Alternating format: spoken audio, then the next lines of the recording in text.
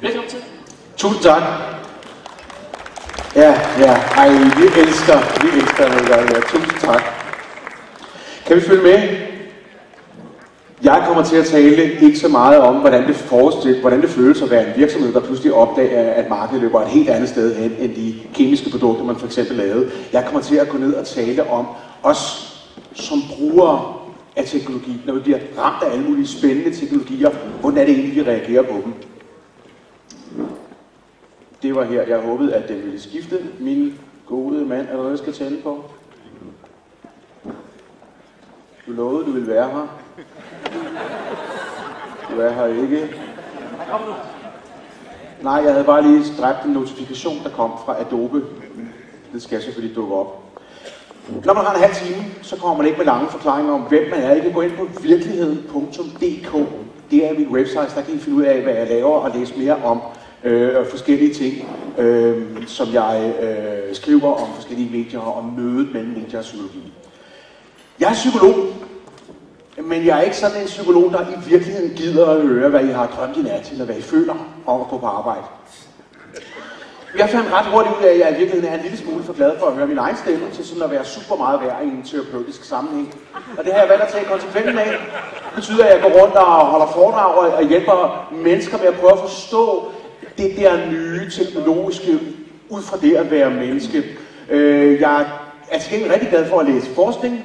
Øh, for eksempel kunne jeg finde på at læse en forskningsrapport, der, der viser, øh, hvad for et, en del af din hjerne, der får tilført mest blod, når du sidder og ser et billede på den, af din egen aftensmad på Facebook for eksempel. Sådan en artikel vil jeg bare læse, øh, før jeg vil se Netflix. Jeg vil det vise jer en arbejdsmodel af, af jer. Jeg har arbejdet med alle mulige modeller. Jeg har arbejdet med mennesket er drevet efter en søgen mod identitet og en hel masse ting. Og det var, det var spændende, og rigtig mange mennesker ville gerne høre om mennesker og identitet. Men hver gang jeg blev springet op af pressen og spurgt, hvorfor gør vi sådan? Hvorfor tjekker vi hele tiden? Hvorfor bliver vi så vrede øh, på Facebook og råber og skriger af folk, når vi står der med vores eget navn over købet? Hvad er det, der kan forklare det her?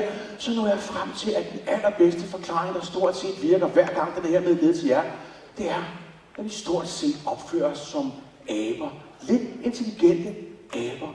Og det, der kendetegner os som aber, er i høj grad, at når vi møder noget, så er vi drevet af nysgerrighed. Vi skal lige se, hvad der sker, hvis vi gør et eller andet. Det er den her nysgerrige abe, som har fundet ud af at flyve os til månen, uden vi ikke anede, hvad fanden man skulle bruge det til. Bare for at finde ud af, at vi kunne. Den bygger ting, og den her abe sidder fuldstændig uden tanke for fremtiden, og vil bare gerne se, hvad der sker, hvis man skruer låget af det her, og gå for det, der sidder nede i. Og hvad har den her abe fået bygget?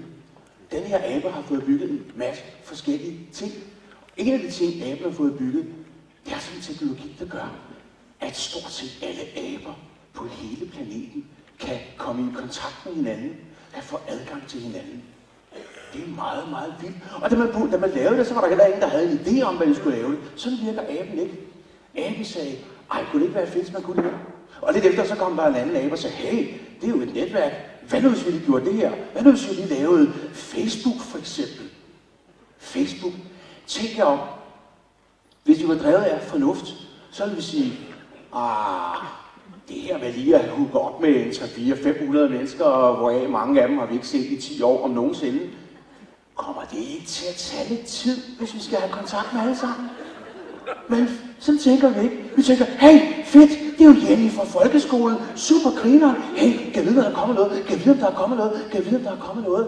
Så uden at tænke over, der har vi pludselig bøvet tonsvis af kontakter ind. Og hvad er det det eneste, der kan forklare, at vi... Mange af tingene har vi glemt, når vi lægger skærmen væk. Vi kan sagtens klare os uden, vi er da lidt lette, hvis telefonen løber tør for strøm. Hvad der gør, at vi alligevel bare tjekker hele tiden? Det er fordi, at vi er nysgerrige. Og hvad gør den nysgerrige abe? Vi, skal, vi har lavet en ny, jeg har hørt, der vi taler om en ny diagnose for den måde, vi opfører os, når vi hele tiden sidder og tjekker vores skærm. Vi kender godt den, der hedder ADHD, Attention Deficit Hyperactivity Disorder.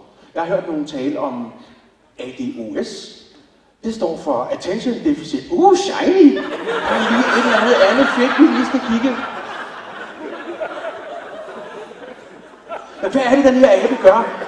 En af de ting, den gør, det er, hvis noget er fedt eller interessant, så tager man og går i gang med at bruge det. Den planlægger ikke, den tænker ikke særlig meget, og den tænker slet ikke over, hvad konsekvenserne er, og så tager den det gamle, vi nu er i gang med at smide væk. Vi går på Spotify. Ej, det er skidesmart, vi kan få fat i alt under musik. Ej, der kommer noget nyt og spændende. Så fejrer jeg da lige alle mine CD'er væk. Facebook. Jeg kan kontaktes og hænge sammen med alle de her mennesker. Kalenderen. Ud med papirkalenderen. Det skal jeg selvfølgelig ligge på nettet, så jeg kan få fat i det fra alle mulige devices, eller hvad man nu kalder det. Danske Bank. Og deres mobile pay. Skide smart. Der er ikke nogen, der tænker over, hey, nu er der altså ikke nogen penge, hvis du er tør på strøm. Nu så er der ingen penge. Mm. Ej, det er skide fedt. Prøv lige at se, man kan, ej, man kan sende et billede med. Ah, prøv lige at se.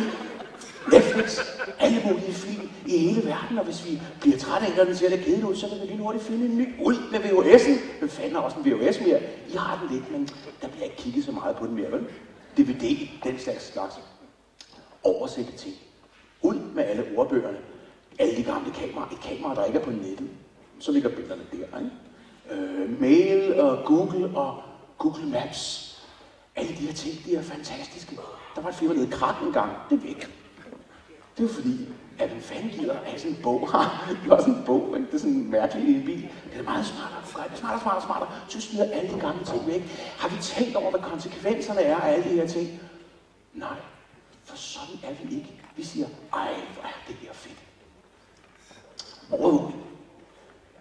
I ved jo godt, at når I giver alle de her informationer, så kan vi risikere at blive overvåget af efterretningstjenester. I ved det med jeres fornuft. Kan I mærke, at I engang imellem tænker, ej, det er også lidt for dårligt, det burde jeg gøre noget ved? Hvor meget indflydelse og impact har det på jeres vaner? Hvorfor det? Det er fordi, I er nysgerrige aber. Hvis bare I kan få jeres kort, uh, det er super smart, eller I kan få de her data, så er I lige glade. I ved det med jeres fornuft, men det er desværre ikke fornuften, der er i førersædet her. Det er aben, der siger, ej, prøv lige at se en gang her. Ej, og vi kan dele billeder af vores fest, og så kan folk komme ind og fortælle, at de er super interessante. Og det er noget, der rykker for, for alle. Så vil jeg også gerne lige have, at I skal stifte bekendtskab med en anden del af jeres hjerne. Det vil jeg gøre med et lille regnestykke. Her har I et bat og en bold. Baseballbat og en bold. Og I får nu at vide, at de koster en dollar og 10 cent til sammen. Jeg ved godt, det er lidt billigt, men sådan ser regnestykket her ud. Jeg stiller jer spørgsmål. I behøver ikke svare højt. Svar ind i jeres eget hoved. En dollar og 10 cent til sammen. Nu får I så at vide. Batte koster en dollar mere end bolden. Er I med? Hvad koster bolden? Nej. I tog fejl. Og I ved det godt. Det koster selvfølgelig 5 cent. For det er klart, så koster den 1 dollar og 5 cent. Det er da en dollar mere. Gud, ja, det er jo indlysende. Hvor fanden kom de der 10 cent fra? De kom fra jeres dårlige hjerne, som ikke gider at regne noget ud, hvis den kan slippe for det. Den sagde, åh, en dollar mere. så skal jeg jo bare lave en dollar mindre, for at få svaret. I virkeligheden ser løsningen stort set sådan her ud, og det gør den faktisk. Hvad der sker her, det viste en anden ting, som vi også ved om jeres hjerner. Udover I er drevet af nysgerrighed, er det fedt og interessant, så er I meget optaget af det. Vi, skal vi lige huske at sige.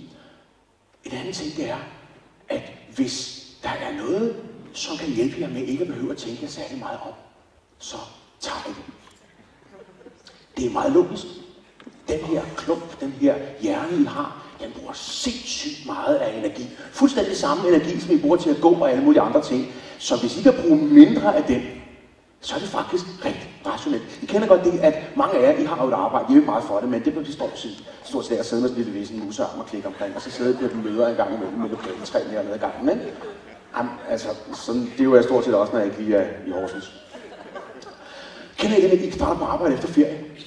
I er fuldstændig smadret. I har ikke rørt jer, og I er fuldstændig smadret og falder om og sover, når I kommer hjem. Det er fordi, det viser noget om, hvor meget energi jeres hjerne kræver. Så det at lade være at tænke, det er faktisk meget rationelt for, øh, for et, et energisynspunkt.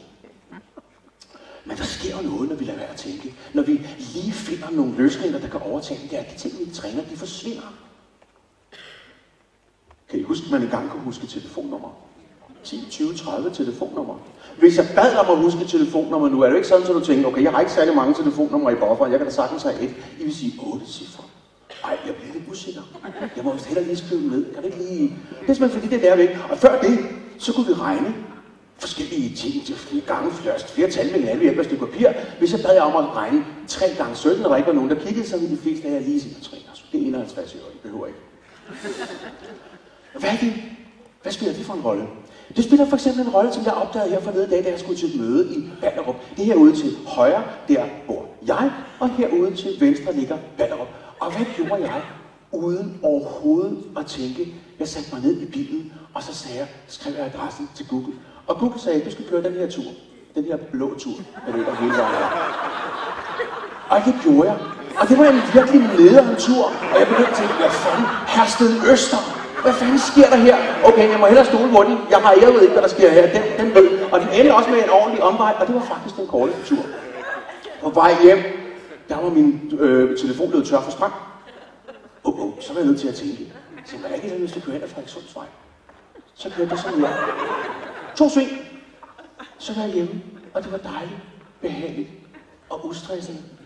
Det krævede, at min telefon brød sammen, eller blev tør for strøm, før jeg kom i tanke om, at jeg skulle da sagtens skal finde hjælp for over for fanden. Det er bare lige ud til venstre.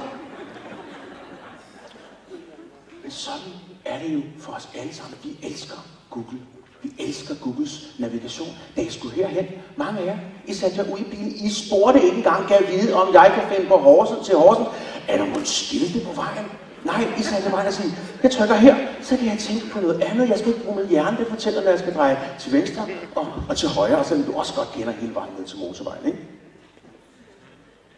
Så vi er nysgerrige, og vi er drevet af, hvis noget er spændende og interessant, så er vi draget mod det.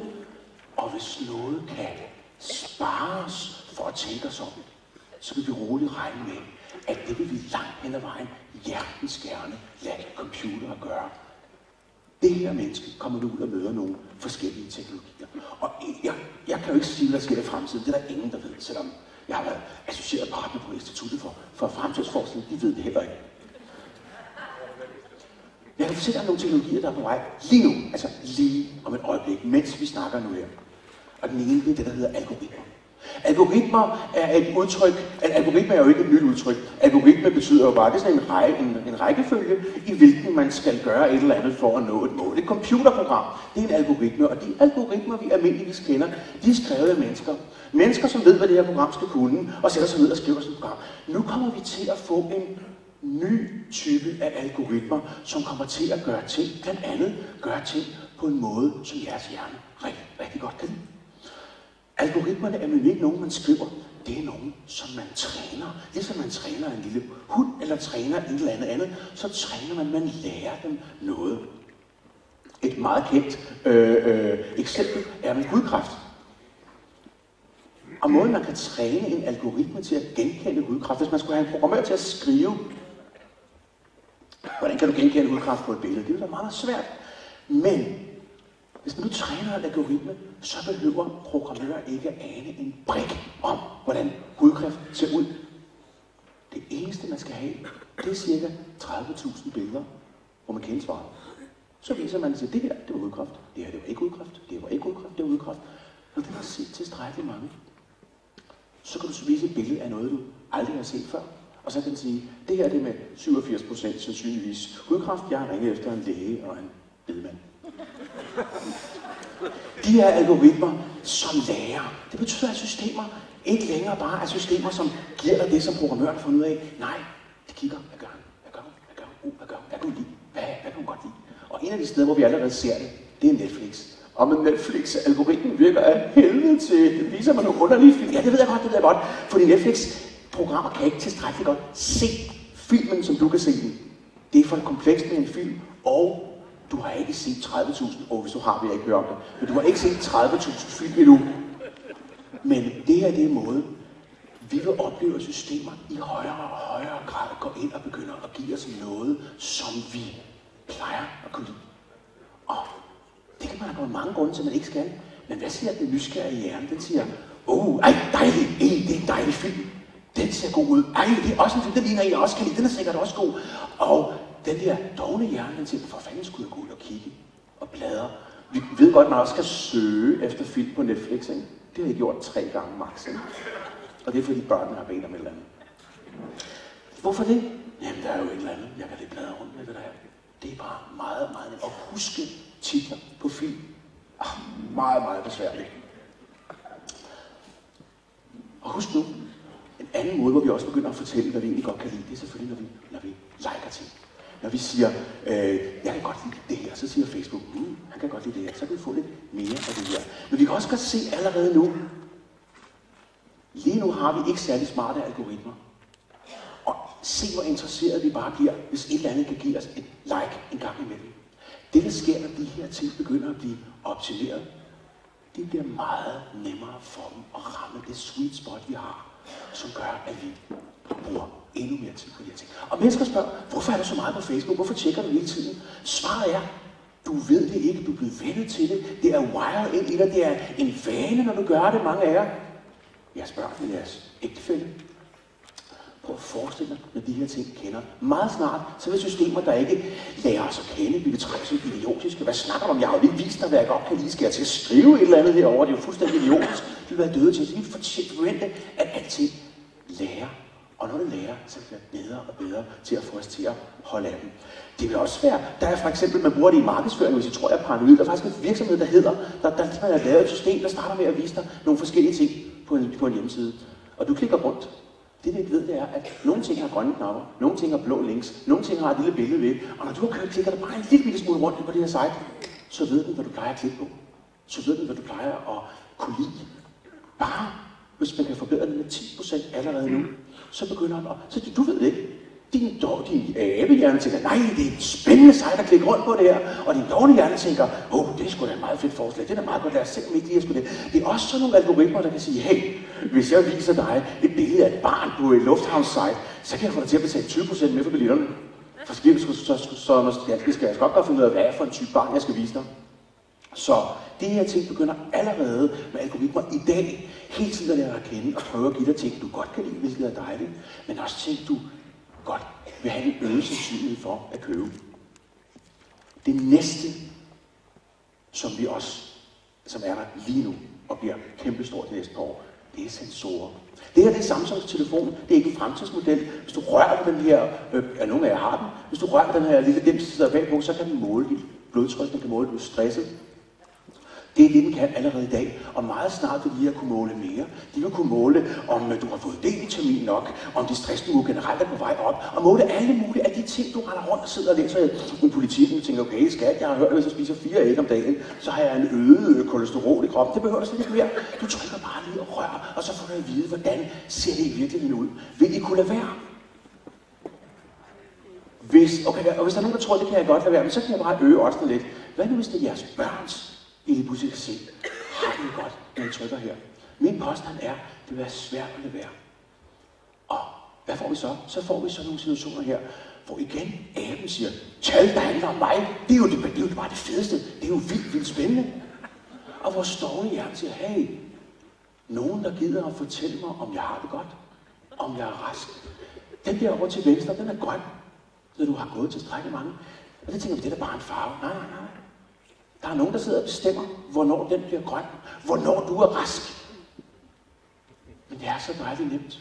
Så får du at vide, ved du hvad, det er ikke særlig godt det her, hvis du går den her vej. Og så kan du få den til at blive grøn, jamen der er pænere derovre. Ja, hvis du går derover, så kan du få den til at blive grøn.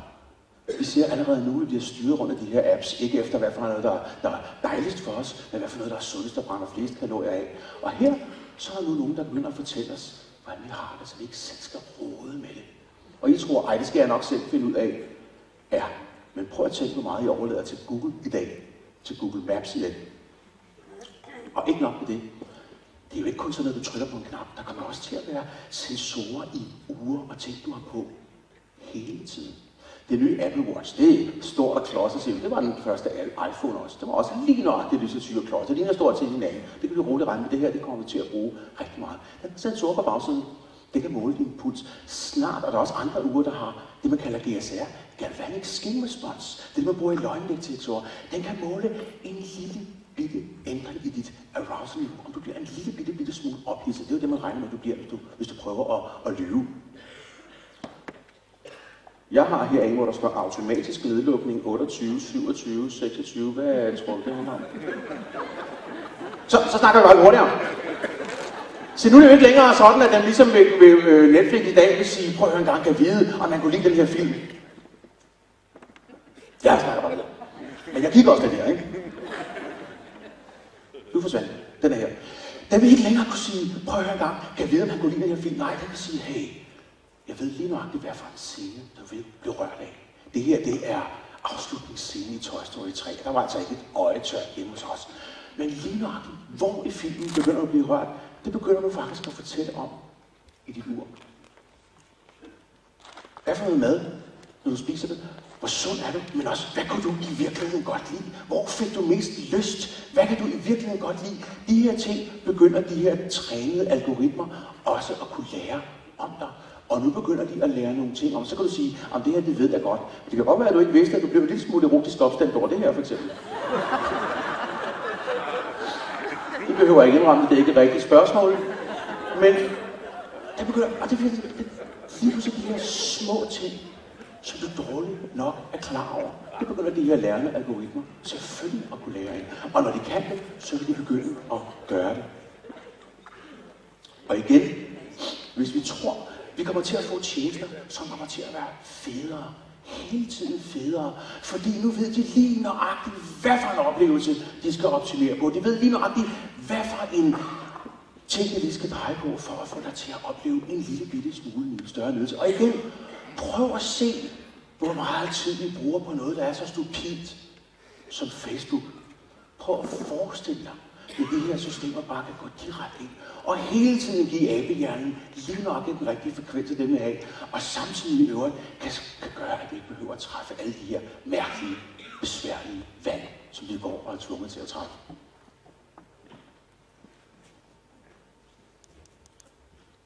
Jeg kunne heldigvis selv mærke, at jeg trængte til vand, men, men nu skal den have sagt nej. Du er ikke tørstig. Den tredje ting, som også kommer til at ske lige om et øjeblik, det synes jeg ligesom virkelighed. Syntetisk virkelighed er det ord, jeg bruger om alle de måder, hvor vi efterhånden vil få snydt vores hjerner til at tro, at noget er virkeligt. For vi prøver at gøre ting, som opfører sig, som om det er virkeligt, for at få en god menneskelig reaktion for os, og for at interagere med os på den måde, vi plejer at blive interageret med. Her er der et digt.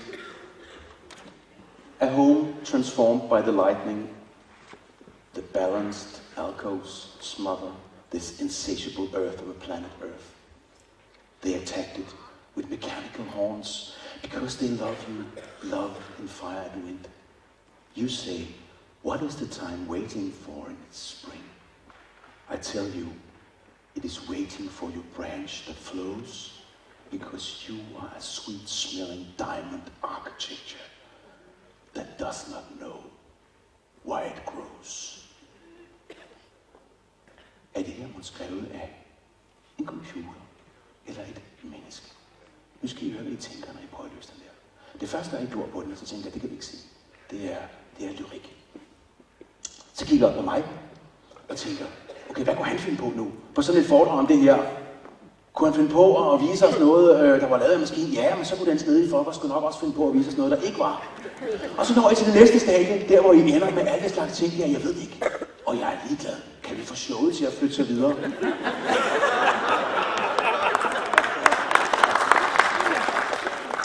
Så vil vi komme til at møde rigtig mange ting. I vil give op. Hvorfor det? For det er ikke afgørende for, om det er spændende. Det er heller ikke afgørende for, om det er nemt. Og så er det ligesom med NSA og alle de der mærkelige ting, der overvåger os, at ja, ja, fint nok, men who gives really a fuck? Really gives. Noget af det første, vi møder, som ikke er ægte, hvor syntakser godt kan tillade sig at være lidt mærkelige. Det næste, der kommer, det er systemer, der taler til os, som om de er mennesker. Computer, der taler til os, som om de er mennesker. Og hvis I tror, at det er langt ude, så kan jeg fortælle jer, at i den uge, der kom her, har Facebook lige lanceret en ny platform for chatbots. Du kan bygge en chatbot til din virksomhed, og den kan give sig til at tale med dine kunder for dig. Hi James, we have a room, baba. Det her er taget fra det her Facebook øh, øh, promotion materiale. Og hvad er det, der er smart af det? Jamen det, der er smart ved det, det er, at hvis jeg kan tale til dig som et menneske, så kan jeg aktivere en masse ting, som jeg er meget interesseret i at gøre som, som virksomhed. Jeg kan få dig til at føle. Jeg kan få dig til at føle empati. Jeg kan få til at være høflig. Jeg kan få til at være reciprok. Altså hvis nogen gør noget for over for mig, så har jeg lyst til at gøre det samme. De ting kan du ikke tænde ved at vise mig en hjemmeside, men i det øjeblik, at vi viser os noget, der bare opfører sig til nærmest som en menneske, så er vi meget, meget tilbøjelige til at falde i. Nu er det meget sjovt, at den forrige taler viste en video, jeg også har overvejet at vise. Nemlig videoen med den her Boston Dynamics robot. Kan I mærke, at de synes, det var synd for dem, at der blev slået til dem? Og da han gjorde det igen, hold da op, din lede mand. Prøv Og den, den ligner en brødrester. Den tumlede rundt som et barn, den var antropomorf nok til, at de begyndte at lægge følelser i. Det betyder, at vi har overhovedet ikke skabt biologisk set overhovedet til, at noget, der opfører sig som et menneske, ikke er et menneske. Og det betyder, at hvis, hvis når I begynder at blive udsat for menneskelige interfaces, så nogen, der prøver at være mennesker, så er I forsvarsløse. Og vi meget hurtigt ende med at sige, jeg ved det Jeg ved ikke, om det der i filmen er lavet ved en computer. Og hvad sker der nu, når vi begynder at få virtual reality? For det kommer. Og jeg vil sige, jeg lyder måske til teknologiforskrækken her næste uge, skal jeg prøve det, det kan kun gå for langsomt. Det her verden, de allerede nu synes, at folk, der har prøvet dem, fortæller, at når de drømmer om dem, så drømmer de altså ikke om, at de har været i virtual reality. De drømmer om, at de har været de her steder, for hjernen kan overhovedet ikke skille det her ad. Og hvad sker der nu, når vi faktisk også begynder at tage algoritmer, som kan mærke, hvordan vi har det, og bruge dem til at lave de her syntetiske værker, så vi får dem, der lige på det tidspunkt, du har allermest lyst til det, eller behov for det, eller det, der tænder dig allermest, så skifter landskabet, eller farverne, eller der dukker et eller andet op. Det vi får, vi får noget underholdning og nogle interaktionsformer, som er så fede, så jeres treværelses i Brøndshøj bare aldrig nogensinde kan konkurrere. Og hvad ender vi så med at få? Så ender vi Og til at starte med, så så jeg den her, og så tænkte jeg, haha, den delte jeg. Det var meget sjov. Sådan bliver det aldrig. Og så tænkte jeg, hvad skal stoppe det? Hvad skal stoppe det her? Er det den der nysgerrige, forlystelsessyge abe, som får det fedeste fix ever? Eller er det din kritiske sans, din sans til at sige, nu må jeg hellere tænke meget grundigt over, hvad det er for en illusion, jeg bliver udsat for, som fuldstændig er stået af? Eller er det jer? Vi skal også til at prøve at lave biblioteket på virtual reality. Øj, det lyder også alligevel meget spændende. Jeg har hørt, det er det store nye. Hvem skal stoppe det her? Selvfølgelig kommer vi ikke altid til at gå med de her ting, som sådan nogle skærme. Nogle gange kommer vi også til at gå med sådan nogle briller, vi kan kigge igennem, som det her øh, prototype fra Google, som hedder Google Glass. Man opfandt faktisk et ord for mennesker, der sådan rimelig tydeligt sidder og læser deres e-mail, mens de lader som om de hører efter, hvad du siger. Det kalder man glassholes.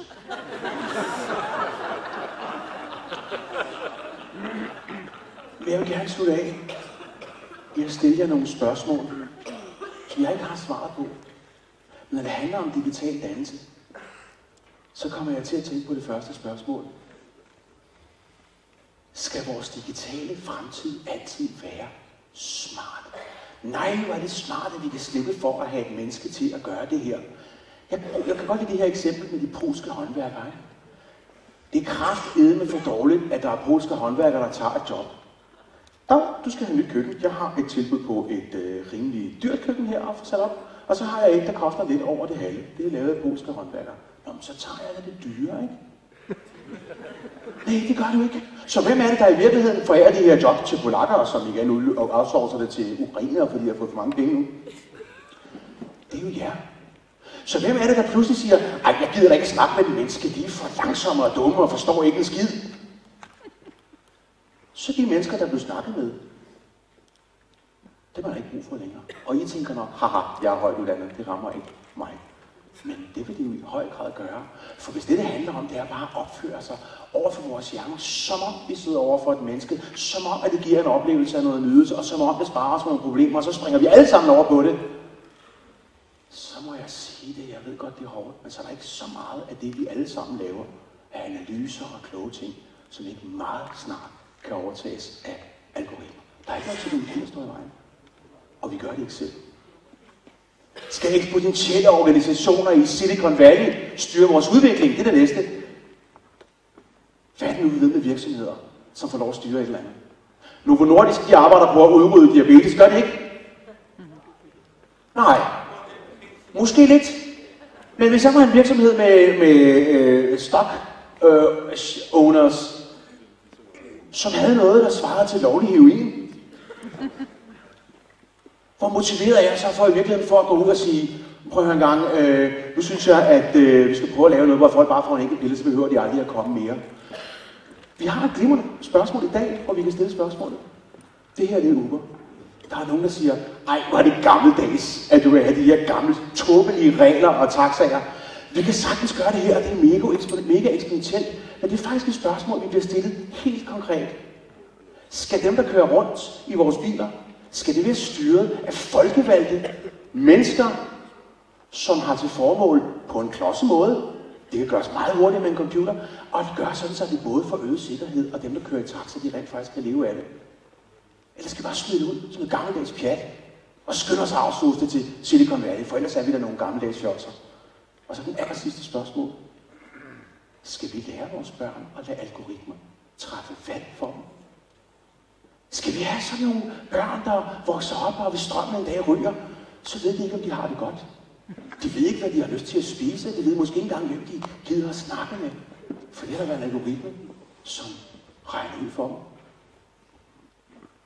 Det kan godt være, at I sidder og tænker, nu prøver jeg en gang, vi kan jo ikke stanse udviklingen. Vi er nødt til at løbe med. Vi er nødt til at gøre alle de her ting.